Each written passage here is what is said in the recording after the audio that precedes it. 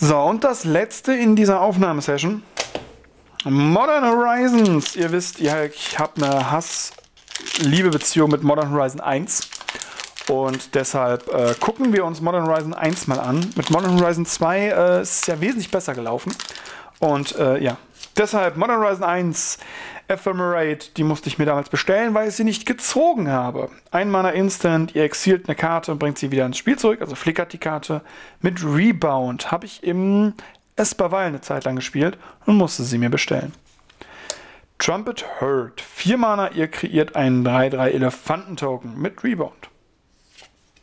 Viel Rebound. 5 Mana 4-4 ist der Quakefoot Cyclops.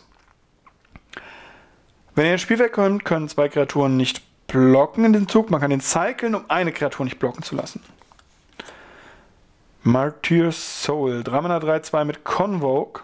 Und wenn er ins Spielfeld kommt und ihr keine getappten Länder kontrolliert, kriegt der plus 2 plus 1 plus 1 Marken. Dann kann das in der dritten Runde ein 5-4er sein. Krass. Winter's Rest. 2 Mana Snow Enchantment Aura.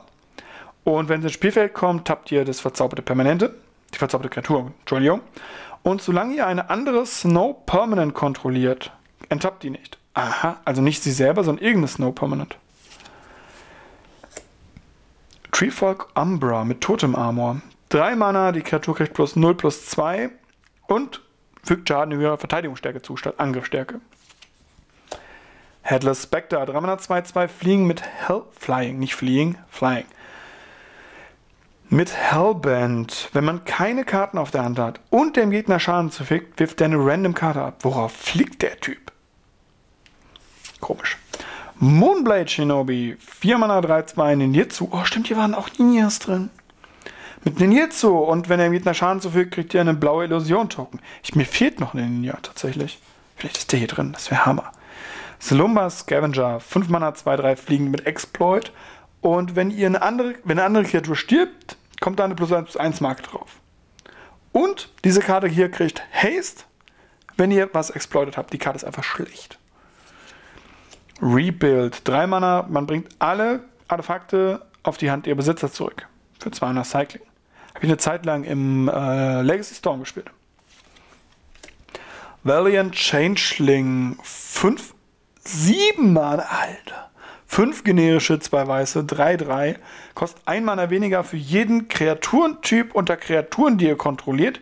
Die können den Effekt maximal eben um 5 Mana günstiger machen mit Changeling Double Strike. Okay, krass. First Slivers Chosen. 5 Mana, 3-3. Und Sliver Creatures you control have Exalted, also äh, Edelmut. Ja, das kann eine Menge Damage bedeuten. Und unsere Rare ist ein Altar of Dementia. Zweimal Artefakt. Ihr könnt eine Kreatur opfern, um einem Spieler Karten millen zu lassen in Höhe der Angriffsstärke der Kreatur, die gemillt wurde. Legacy Hoggak. Das Ding ist voll mit Legacy-Karten. Snow Covered Swamp. Dann haben wir noch. Oh, wir haben eine voll.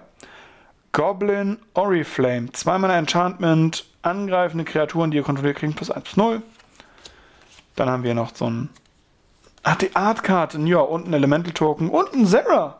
Emblem. Cool. Ja, äh, tatsächlich gar nicht mal so ein schlechtes Modern Horizon Deck. Gar nicht mal so ein schlechtes Modern Horizon Booster. Ähm, ja, gut. Wir sehen uns beim nächsten Mal. Bis dahin, euer Black Ciao, ciao.